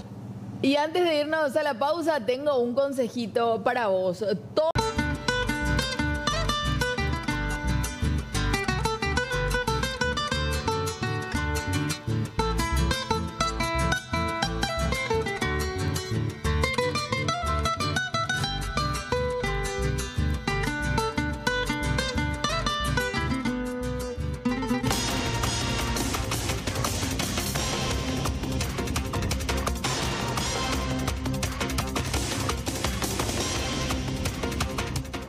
Son las 7 con 49, 7 con 49. El tema se presenta de la siguiente forma. Ubican ustedes las famosas bolsoneras, ¿sí? Que llega a los locales y guarda co- cosas en los bolsos. Bueno, un caso de estos, Judith Colexa, pero que tiene su particularidad. ¿Cómo es que llegaban hasta los comercios? Buen día. ¿Qué tal Mariano? ¿Cómo te va? Saludos para la teleaudiencia. Y en la semana estuvimos informando sobre varios casos de hurtos perpetrados por las famosas bolsoneras y bolsoneros también, pero en este caso en particular llama la atención porque se trata de una familia completa, al menos así llegó la comunicación aquí a la comisaría 24 de la ciudad de San Antonio, donde están verificando estas imágenes para poder llegar a estas personas y por supuesto también para instalar la alerta pertinente, la alerta pertinente para los comercios que son el principal objetivo de estos tipos de personas. Eh, Para el efecto estamos acá con el comisario principal Luis Bordón, que por cierto es el nuevo jefe acá de la comisaría 24 de San Antonio, está asumiendo hoy nomás comisario, ¿verdad? Buen día Judith y para toda la teleaudiencia, para los compañeros que están también en el estudio. Sí, realmente ayer, ayer asumí, una vez que eh, lastimosamente un hecho que ocurrió y eso tuvo repercusión en el jefe y el subjefe de la comisaría. En cambio, sea, entonces como consecuencia el millonario robo ayer a la caja de jubilados IPS entonces, comisario. Sí, realmente es, es, eh, solamente a modo de reorga- reorganizar los trabajos y poder continuar con los trabajos preventivos así como corresponde, ¿verdad? Eh, como ser humano yo siempre digo que podemos tener falencia, podemos equivocarnos, podemos, y este es el caso que ocurrió, ¿verdad? Entonces, en una pequeña eh, distracción, digamos, los delincuentes no aprovechan, ¿verdad? Comisario, ya que estamos, eh, empezamos ya con algunas informaciones y tiene que ver con este hecho que implica una familia entera de supuestos bolsoneros. Usted tiene en el video de momento, ¿dónde habría ocurrido esto, comisario? Sí, justamente yo me estaba enterando, interiorizando los casos que estaban ocurriendo y me estaban comentando la gente de la eh, que hacen el servicio externo, eh, los intervinientes en este caso, o sea que no hubo interviniente en este caso realmente, pero la gente de servicio externo, eh, hablando de patrulleros, ¿verdad? Entonces sí se tuvo conocimiento del hecho de, del famoso bolsoneros o bolsoneras eh, que se estaba cometiendo, o sea, se cometió en una estación de servicio, la emblema Compasa acá de la jurisdicción. Pero denuncia por escrito no recibimos, solamente ya por redes sociales y ya una vez ya consumado el hecho y según eh, lo que consta en el video y las manifestaciones así de gente que eh, realmente pues, se fue la policía a hablar con ellos, es, es una familia completa, le están involucrando a criaturas de por medio. Bueno, ¿y ¿se habrían llevado bebidas alcohólicas, comisario? O sea, ese era el fin de esta... Ma- manifestaron que sí, efectivamente bebía alcohólica y bueno, eso es lo que se pudo observar eh, según comentarios. ¿verdad? Eso se habría registrado acá en San Antonio, pero no se descarta que también se extiendan en otras ciudades centrales, comisario. No, de hecho, de hecho que esa gente, esto tiene que ir una alerta para todos los dueños de comercio, supermercados, ya sea bodega o los eh, mini market que se encuentran en los surtidores, en las estaciones de servicio. Yo creo que tienen que tomar un poco la medida que corresponde y por lo menos alertarle a la policía y tener en cuenta estos hechos que están ocurriendo. ¿verdad? Gracias, comisario. ¿eh? Cuando guste, cuando guste. Muchas gracias. Muchas Está el gracias. comisario principal Luis Bordón que está llegando en la zona de Canindeyú en reemplazo al comisario Cantero que hasta ayer estuvo como jefe de esta dependencia policial y esto es como consecuencia precisamente del millonario robo a la caja de jubilados que se registró ayer y que estuvimos informando Mariano para poder nada más también actualizar la información a la teleaudiencia. Y por otra parte repasar con ustedes este video. Se puede ver que entra la familia completa Mariano a este autoservice que sería de una estación de servicios aquí de la ciudad de San Antonio y se puede ver que el hombre, quien creemos sería el padre de familia, se alza con una botella, no sabemos si de whisky, pero pone debajo de la remera. No sé, Mariano, si alcanzás a ver ese momento mientras la mujer y los niños eh, caminan por los pasillos. Estamos repasando justamente ahí con Lexa la, imagen del circuito cerrado. Ahora estamos en la parte de, de afuera. Y hay otro de... Ah, solo el de afuera tenemos. Ah, vamos a trabajar con Lexa los del interior porque se le ve a los niños. Entonces con la cuestión de cuidado de- del derecho de los niños y su identidad, vamos a trabajar eso y vamos a presentarlo solamente ya más adelante, pero estamos más diciendo acá con Amalia Judith, espérala un ratito, vos tenés un negocio, Sí. ¿verdad? Llega Sí. una familia hasta tu local con Lexa y claro que le vas a atender, claro que tenés que prestarle atención y compañía ¿verdad? para darle un buen servicio, pero no sé qué es lo que vas a tener en cuenta porque te dicen, pues así, es que alguien tiene pintado ahí, llega a tu negocio, tenés que cuidarte, tenés que atender. Pero en este caso con una familia No, con pero Lexa. ahora todos ya son so- Inofensiva como, Sí. como se lo ve, pero mira,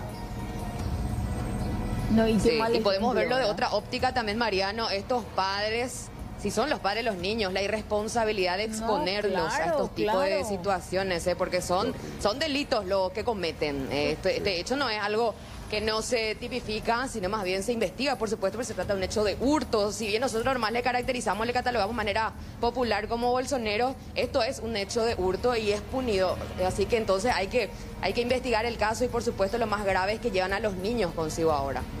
Nada más para cerrar, Colexa, sobre el otro caso, este luego del mega asalto ahí en, en el tema de los jubilados. Eh, el comisario eh, eh, que estaba anteriormente, ¿fue trasladado a otra comisaría? ¿Está bajo sumario? ¿Qué sabes? Está a disposición de la dirección de policía de momento porque según me explicaba acá el nuevo jefe de la comisaría 24 es que está también haciendo un curso y esto también implica cierto tiempo, pero más bien el motivo de su cambio atiende precisamente a lo ocurrido ayer Mariano, ya que existen responsabilidades compartidas, atendiendo a que esta comisaría era la que se tendría que haber encargado de designar más personal policial durante la realización de los pagos a los jubilados que se tendría que haber dado ayer y que por cierto no pudo ser por este millonario atraco. Exacto, entonces cambio de comisario es la, la información. Gracias Judith, enseguida volvemos a hablar Jefe y subjefe. Jefe y subjefe. Gracias Para Judith. actualizar nomás, el jefe y el subjefe fueron cambiados, así es. Dale, dale, tenemos más información ya desde la zona norte del país.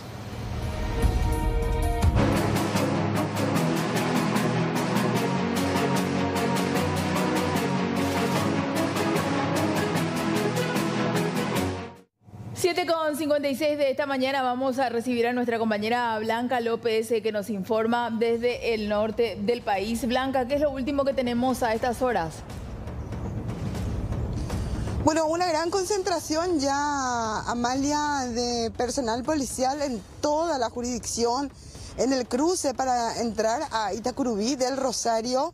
Eh, de hecho, en principio se hablaba que el secuestro era en Santaní.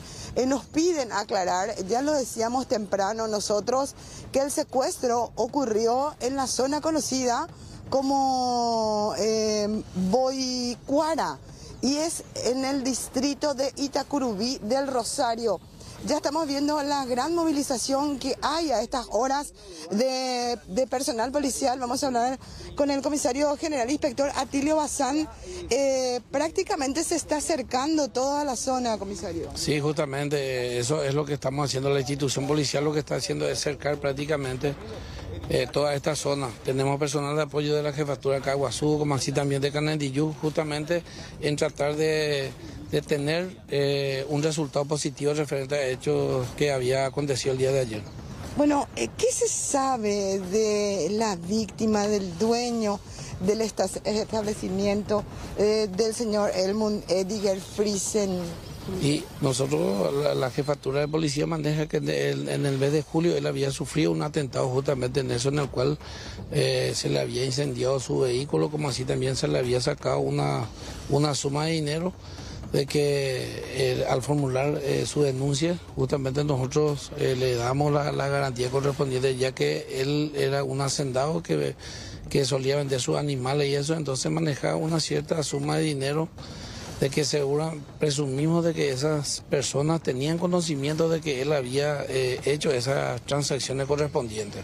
Se confirma que él había hecho la venta de 1.700 cabezas de ganado, lo que, que equivald- que equivaldría a casi 5 mil millones de guaraníes. Y eso es lo que se tiene, porque justamente sacar así un, un monto de dinero, justamente su hijo es el que maneja toda esa cuenta bancaria. Nosotros en el transcurso de esta mañana, el personal técnico con la entidad bancaria va a estar solicitando la transacción que se hizo el día de ayer.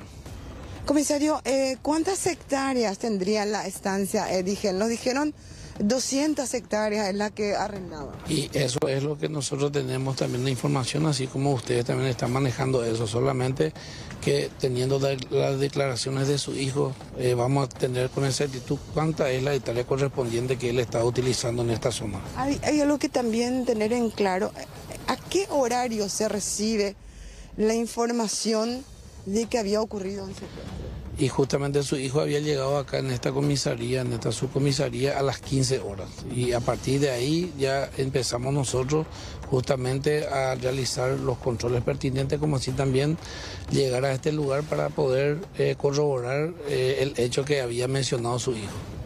Bueno, gracias, comisario. Eh, estamos muy cerca del establecimiento. Comisario Silguero eh, ya se encuentra presente aquí, además de personal de homicidio, ya también está presente gente del Departamento contra el Crimen Organizado.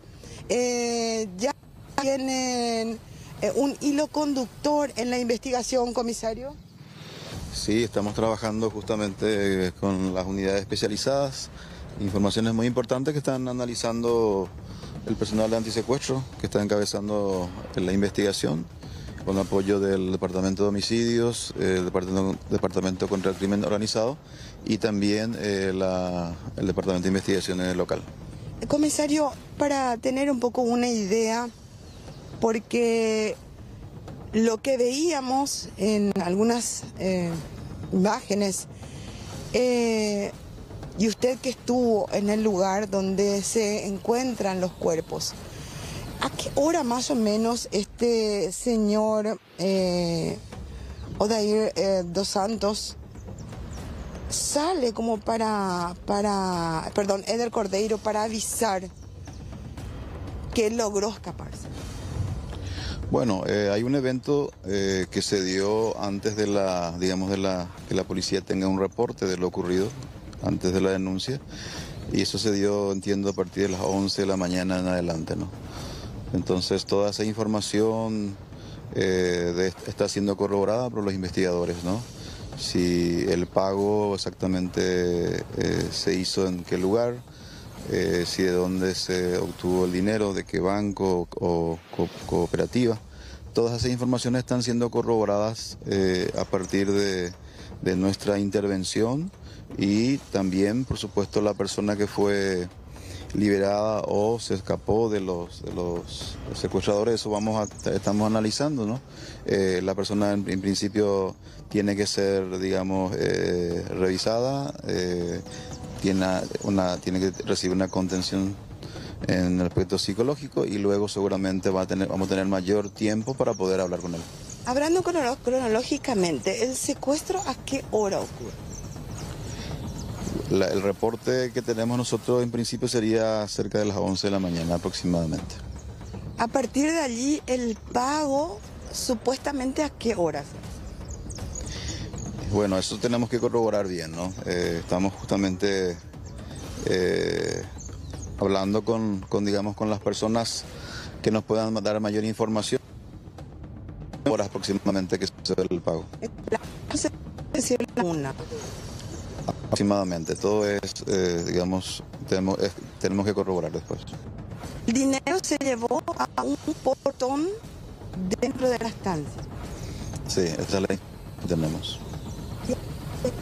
Eh, llega un momento que este joven, una llamada de su padre antes de él depositar el dinero en el lugar, diciéndole que ya estaban asesinando gente. Sí, eh, en principio es una animación que, eso evidentemente tiene que ser eh, nuevamente eh, por investigadores, especialmente antisecuestro. Esa es la versión primaria que, que se recibió. No obstante, eso eh, evidentemente va a ser, va a ser eh, corroborado eh, a partir de las declaraciones que van a, hacer esta gente, la- especialmente la- los parientes de la víctima, ¿no? Comisario, eh, la denuncia que ellos presentan acá en la comisaría 6000 ex Marengo se produce ya cuando no se le libera al padre. Sí, eh, a partir de que no, digamos, no cumplen, entiendo la, eh, lo acordado, es donde ya se filtra la, información y eh, en principio ya llega a la policía de manera informal y luego ya personal de, de la jefatura de, de antisecuestro de Santa Rosa eh, se, digamos, vienen al lugar para corroborar eso. Bueno, eh, em, lo que sí se tiene claro es que aparentemente por la forma en que fueron encontrados los cuerpos, hablamos de un ajusticiamiento, el señor Helmut Edinger Friesen recibe un impacto de bala en la cabeza, aparentemente estaban arrodillados cuando eh, fueron ajusticiados. Eh, también el capataz Odair dos Santos recibe un una estocada en el pecho y posteriormente o, también presenta rasgos de cortes en el cuello, eh, mientras que el señor el señor Odair, eh, perdón, Eder Cordeiro también recibe, eh, perdón, no, el señor Rolando Díaz González de 18 años recibe otro impacto en la cabeza, compañeros. Bien, bien, Blanca, gracias, gracias por este contacto. Ya vamos a ir ampliando en el transcurso de esta mañana. Hasta luego. Hasta luego.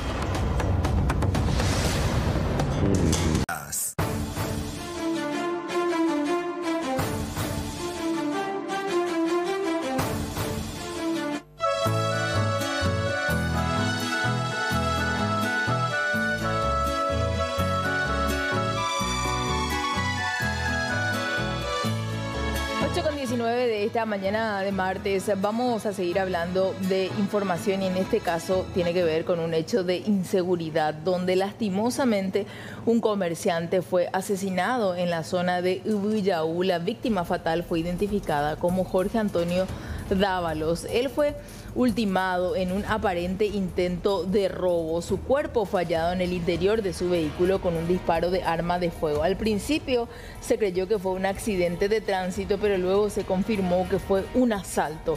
El informe médico señala que recibió un disparo en la cabeza y hay una persona detenida.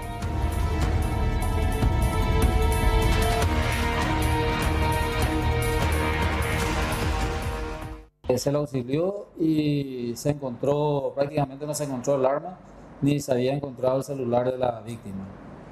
Esta cara de eh, una persona prácticamente fue detenida y se puede se están recuperando algunas evidencias comerciales.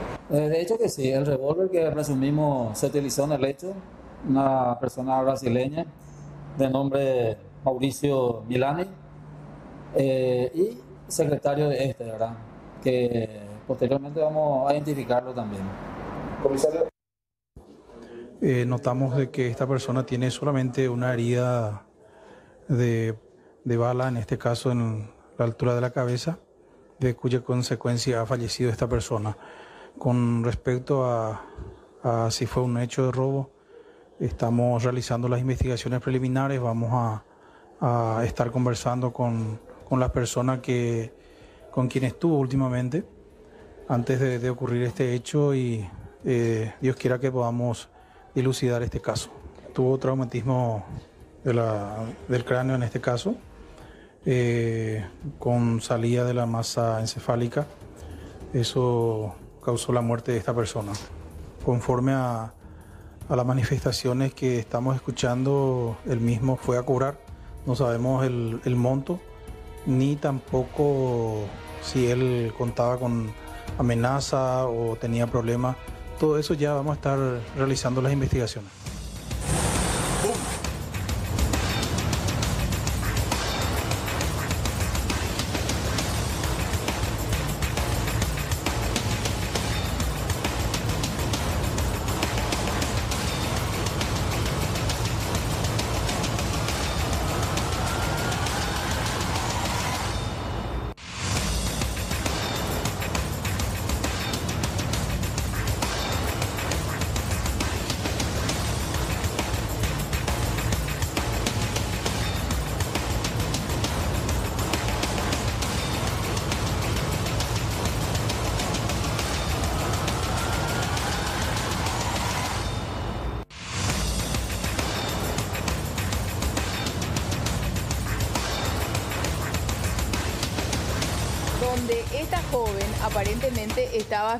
El colectivo cuando este delincuente baja, tiene un arma en la mano, la intimida y ella le entrega el, el celular que estaba manipulando. Aparentemente, fíjense, del lado derecho hay alguien que la quiso defender porque al subir él nuevamente a la motocicleta apunta del otro lado de la vereda ahí y ella ya va del otro lado entregada totalmente a lo que fue este hecho de inseguridad, no puso eh, resistencia obviamente ante tal eh, situación. Vamos a darle eh, seguimiento ya también a este caso de esta familia de bolsoneros con nuestra compañera Judith Colexa que ya actualizaba también esta información más temprano. Judith, estamos contigo. Gracias, Amalia. Estoy acá en compañía de José Morán, que es el encargado del surtidor donde esta familia ingresó para alzarse con bebidas alcohólicas. Él tiene más detalles para darme de cuándo pasó, cómo exactamente fue todo el perjuicio para los mismos, porque no deja de sorprender que estas personas usaron a estos dos menores de edad para poder distraer y alzarse con bebidas alcohólicas. Imagínense ustedes, y aparentemente, según me está explicando acá ya José, los niños eran conscientes de lo que estaban haciendo estos dos adultos que Presumimos serían sus padres, José, ¿verdad? Y aparentemente son sus padres, ¿verdad? Disculpe, buenos días, ¿verdad?